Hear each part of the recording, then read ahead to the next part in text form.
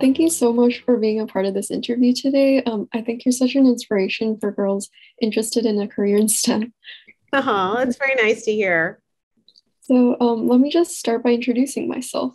So, I'm Claire Shu, and I'm currently a high school junior at Boston University Academy.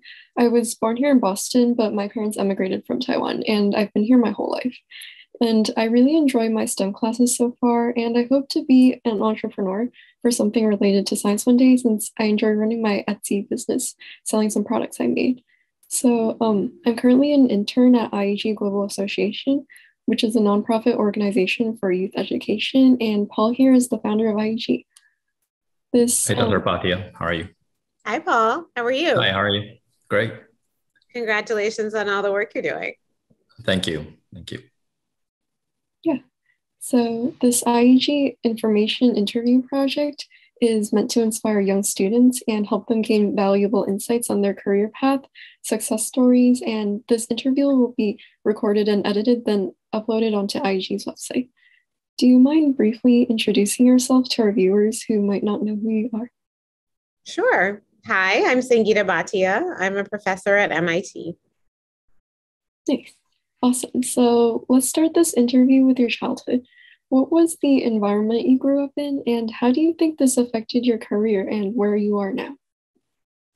Sure. Yeah, I was I was born in Boston. I'm the daughter of immigrants. Um, they, my parents came from India to the U.S. in the '60s, and um, I think as a as a daughter of immigrants of Indian immigrants, I I felt like I had a relatively small list of acceptable careers that would make my parents happy.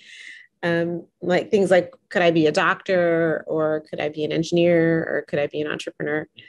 And um, when I was in high school, I was I had some natural affinity for kind of science and math, and so my dad kind of pointed me towards engineering. Um, and I had loved my biology class, and at the time, which was kind of the mid '80s, um, bioengineering was a new field. And so my dad um, actually brought me to a friend's lab who was working on bioengineering instruments, like making ultrasound machines for cancer. And that kind of really captured my imagination. So I decided to study biomedical engineering. Nice. Biology is also one of my favorite classes so far. And um, what are some other opportunities you had when you were younger that you think had a big impact on the trajectory of your life? Yeah, I think you know my parents made a lot of sacrifices uh, to really invest in in my my sister's education. So they moved to a town that had strong public schools, and they, um, you know, I can appreciate now that I'm a mother of of two young girls that they spent a lot of time on our extracurricular activities and investing in. Um, not just our academic kind of scholarship, but also who we were as people. I was a dancer growing up. Um, I studied classical Indian dance, and my mom spent probably every Saturday for many, many years driving me to Indian dance class. So um, I think, you know, the, the biggest gift that I had was um, parents that were interested and really believed in, in excellence and believed in my success and um, and a strong community. I have a great big big Indian family. I have 30 first cousins. So um, yeah, a lot of family around me. Oh, wow, nice. And did you have any mentors or role models who were women who affected your decision? Yeah, that's a great question. So, um, you know, I would say in some ways, yes. Like I had my dad who was super involved, and my mom was kind of a trailblazer herself. So she was one of the first women in India to get her MBA. Um, but I didn't actually know any women with PhDs um, until I got to college and I had my first summer job sophomore year. Um, it was the first time I met a woman with a PhD, um, and her name was Catherine Turner. Uh, and uh, I was working at a place called Genetics Institute, which was one of the earliest biotech companies. Uh, and actually, she was pregnant with her first child at the time. And so I, like in one summer, I met this woman who was, she had a PhD, she was building her family. Um, and I think that sort of stuck in my head as like, okay, you can, you can do it. You can, you could lean into this career and still have the family that you hope for. Awesome. And as a role model to many young women today, how are you helping and convincing these young women to know that science is for everyone and to build their careers in STEM? Yeah, that's a good question. I mean, I think there are a couple of different things that um, I try to do. One of them is just to try to be really visible and do interviews like this one and tell people that they can do it and it's a super fun job because um, it really, really is. Um, and then the other thing is is to tell people to to kind of collect to kind of find their tribe and find each other. Because like kind of the best way to get through a demanding profession is to surround yourself with a support system and people who love love what you're doing as much as you do. So so i do that in my own life. I collect amazing women and, and i tell young girls you know not only to do this job because it's fun but also to just find other girlfriends who love science and engineering like they do. Yeah i've actually been to an event hosted by the um, mit SWE for middle schoolers like around five years ago yeah yeah, it was kind of like that. I got to meet a lot of other girls who were also very interested in maths and sciences.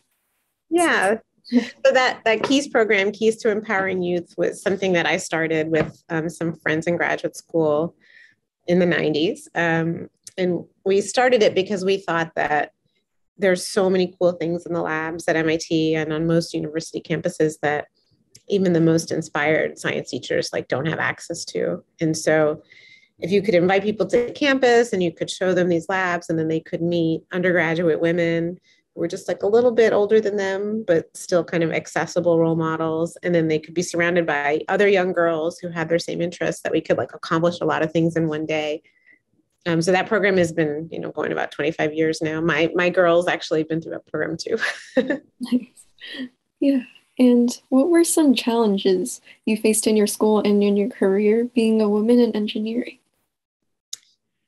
yeah, that's a good question. I mean, I think one one of the, my biggest challenges has been um, you might have read about this thing called imposter syndrome. Have you heard about that? Yeah. Yeah.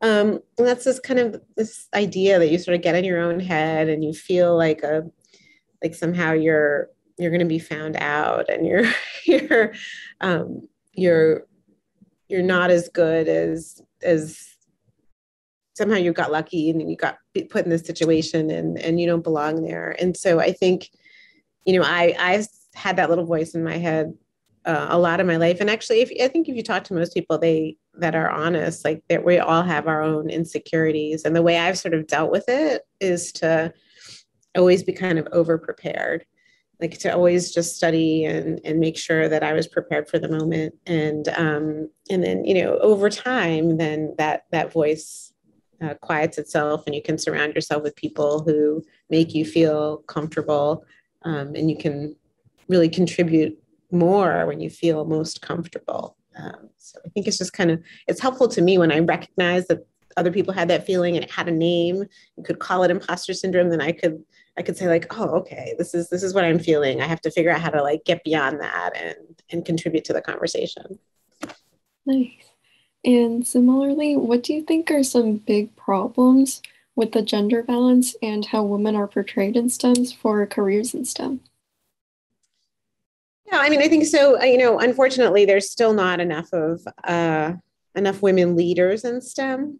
Um, and you know, I think if you look at women CEOs, for example, in companies, or women professors, or or really women in politics, most most there's not enough women leaders out there. So you know the bad news is where there's not enough of us i mean the good news is in this kind of digital moment i think we can capture a lot of our stories and really try to amplify them. And so hopefully you know the kind of work that you're doing is going to contribute to that because you don't have to wait till you're 19 to meet a woman with a phd right? Like you've already you, i'm sure you met somebody before today but today you're meeting me.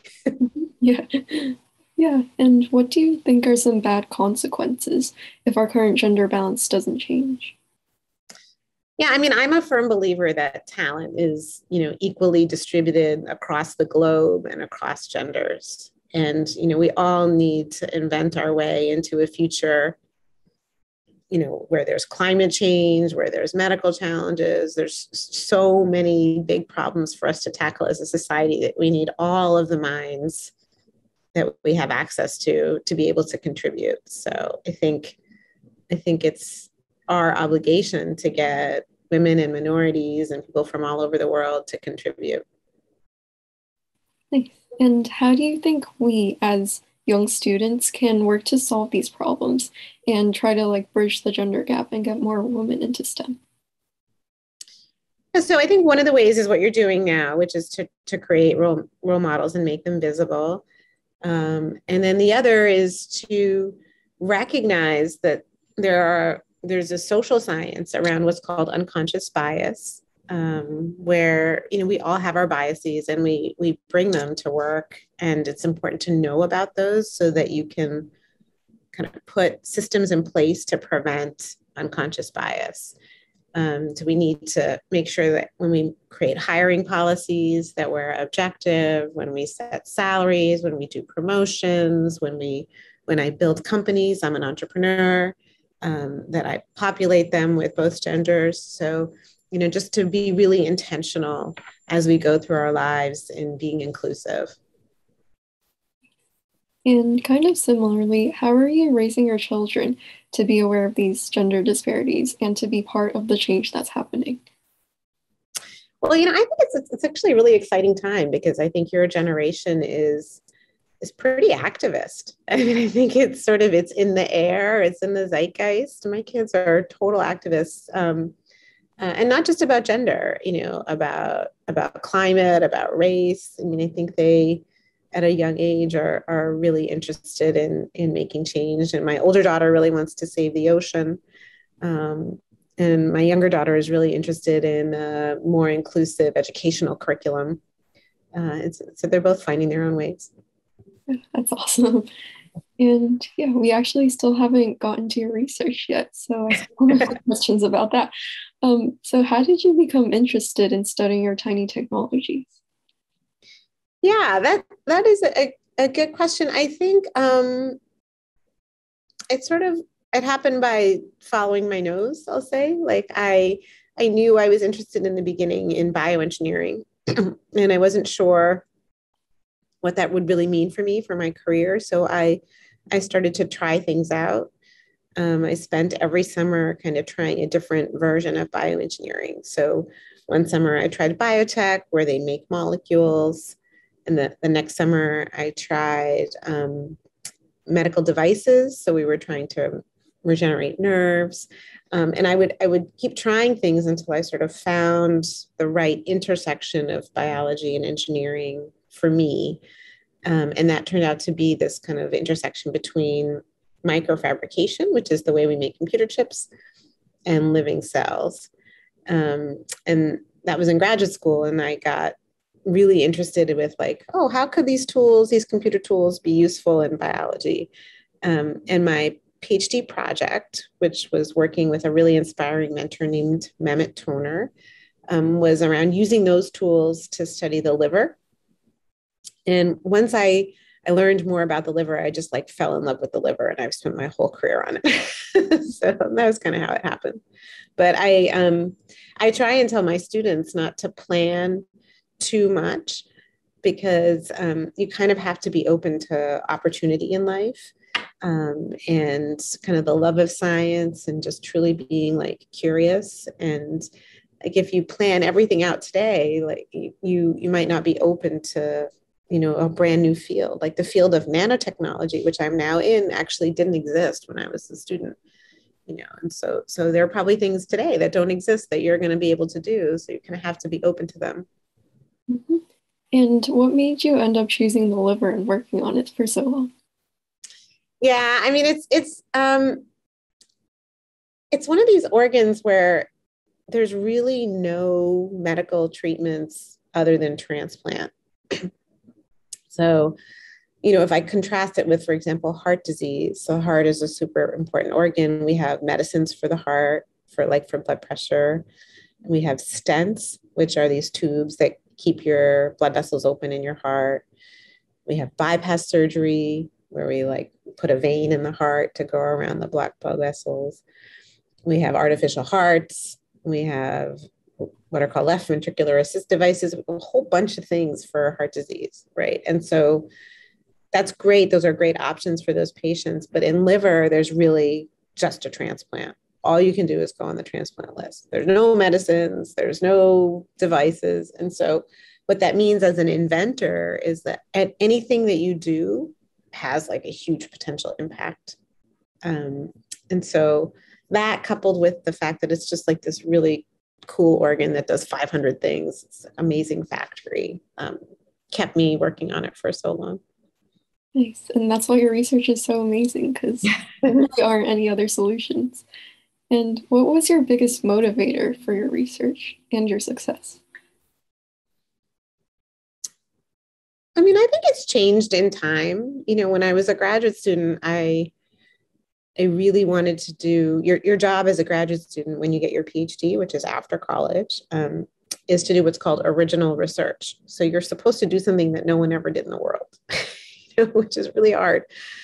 Um, and so my goal at the time was to like get my project working. It took me like three years to get it working. And I was trying to pattern cells on a surface with these computer chip technologies. And I wasn't really thinking yet about how it could be useful for patients because I was kind of just looking at what was right in front of me.